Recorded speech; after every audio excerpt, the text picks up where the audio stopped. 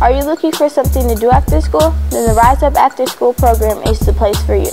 Enriching students' lives through 10 student clubs. Boys and Girls Mentoring clubs, Spartan Nation News, digital recording, photography, and graphic design, robotics and mock trials, and so much more. So join us Monday through Friday, 2.30 to 5 p.m., and Wednesday, 1.30 to 4 p.m. So what do you need to do? Rise!